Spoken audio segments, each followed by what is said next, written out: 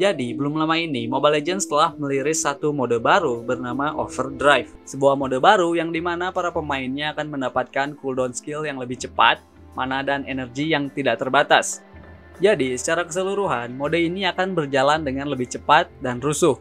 Ketika mode ini pertama kali diumumkan pada Advance Server di tanggal 4 Januari kemarin, para pemain League of Legends dan Wild Rift langsung marah karena mode Overdrive ini sama persis dengan mode URF dalam kedua game tersebut. Apalagi tanggal perilisan mode Overdrive ini yang tidak beda jauh dengan perilisan URF di Wild Rift. Jadinya, update ini membuat kita berpikiran kalau Muntun melihat mode baru di Wild Rift dan membuat versi mereka sendiri ke Mobile Legends. Tapi, apakah itu benar? Mode Overdrive dan URF ini adalah dua mode yang sama. Mari kita bahas persamaan dan perbedaan antara keduanya.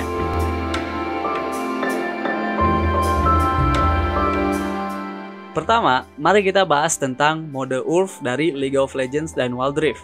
URF atau singkatan dari Ultra Rapid Fire adalah sebuah mode yang diciptakan pada tahun 2014 yang lalu. Mode ini merupakan bagian dari event April Mop pada tahun tersebut. Dalam mode ini, champion yang kalian gunakan akan diberikan secara acak. Ketika dalam game, champion kalian akan mendapatkan buff besar berupa pengurangan cooldown skill, item dan spell, konsumsi mana yang dihapus, penambahan movement speed, damage yang jauh lebih besar. Selain itu, ada juga ciri khas dari mode ini yang merupakan cannon yang ada di base. Sebuah cannon yang bisa meluncurkan hero kalian secara langsung ke medan pertempuran. Mode ini menjadi sangat populer dengan sangat cepat dan komunitas langsung menyukainya. Sehingga Riot Games membuat mode ini lebih bagus lagi secara bertahap. Riot juga merilis beberapa skin khusus bertema URF untuk membuat mode ini lebih terkenal lagi. Menjadi salah satu mode paling laris, Riot Games akhirnya memutuskan untuk membawa mode ini ke League of Legends Wild Rift. Pada update patch 2.6 di awal bulan Desember kemarin, sama seperti League of Legends, kedatangan mode ini ke Wild Rift langsung menjadi mode yang cepat populer dan komunitas langsung menyukainya. Versi Wild Rift ini tidak memiliki banyak perbedaan dengan versi PC. Secara garis besar, keduanya masih sama, hanya saja untuk pemilihan champion di Wild Rift tidak menggunakan sistem acak. Mode ini sempat dihilangkan pada update setelahnya. Namun karena banyak yang meminta, mode URF kembali dibawa lagi, bahkan dengan event mereka sendiri. Hal ini membuktikan kalau mode satu ini disukai oleh banyak pemain. Satu bulan setelah mode URF masuk ke Wild Rift, Mobile Legends meliris mode baru bernama Overdrive, atau lebih sering disebut juga sebagai cheat mode oleh komunitas Mobile Legends. Dalam mode ini, kalian akan mendapatkan hero secara acak. Selain itu, hero kalian juga akan mendapatkan pengurangan cooldown yang drastis dalam skillnya, penghapusan penggunaan mana dan energi, bonus movement speed, bonus attack speed, dan bonus status resisten. Berbeda dengan URF, pada versi Mobile Legends, kalian akan diberikan spell teleport atau arrival secara gratis. Jadi, kalian punya spell utama dan yang gratis. Dalam versi Mobile Legends juga, level hero kalian ditambah secara drastis dari yang asalnya maksimalnya adalah 15 menjadi 100. Jadinya setelah hero kalian telah mencapai level 15 lebih, maka status tambahan per levelnya juga akan terus bertambah, tapi tidak untuk skillnya.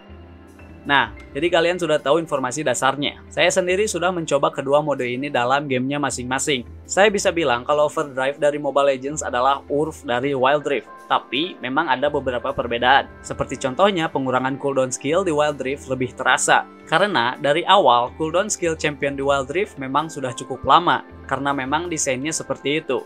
Apalagi ketika membicarakan tentang ultimate-nya. Jadi, ketika dimainkan pada mode URF, pasti kalian bisa lebih merasa perbedaannya. Kalau kita membicarakan tentang Mobile Legends, rasanya kurang. Dari desain awal, hero mereka memiliki cooldown yang memang dibuat khusus untuk MOBA mobile. Jadinya, pengurangan cooldown skill dalam mode overdrive kurang terasa. Bahkan ada beberapa hero yang terasa sama saja. Lalu ada perbedaan tentang sistem transportasi juga. Kalau di ULF kita punya cannon yang menembakkan champion itu sendiri.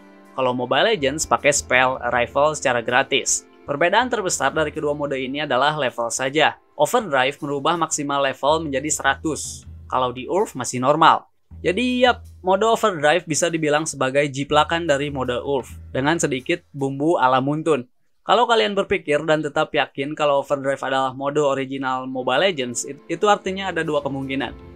Satu, kalian belum tahu info dari MOBA lain dan cuma tahu perkembangan Mobile Legends saja, dan itu berarti kalian baru tahu sekarang. Sedangkan kemungkinan kedua, kalian berpikir kalau sedikit perbedaan dari kedua mode ini bisa dijadikan alasan. Ya, keputusan akhir memang ada dari kalian sendiri. Kesimpulan akhirnya sama seperti yang sudah kita bahas kemarin. Saya sudah sempat membahas kalau hal menjiplak dalam game MOBA itu bukanlah hal yang baru dan sudah sering dilakukan dari sejak lama. Bukan cuma Mobile Legends saja, Arena of Valor, League of Legends, Dota 2 juga sama saja. Cuman yang paling kelihatan, kalian sudah pasti tahu siapa. Mereka bahkan membuat maskot khusus untuk mode ini yang sebenarnya tidak perlu.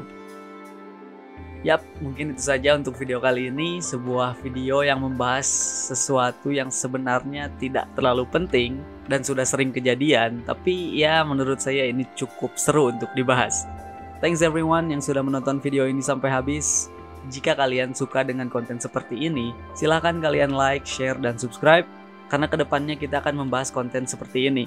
Buat kalian juga yang ingin dapat informasi terbaru mengenai gaming dan esports, bisa langsung cek media sosial kita dan jangan lupa kasih follow juga. Sekali lagi, thanks for watching.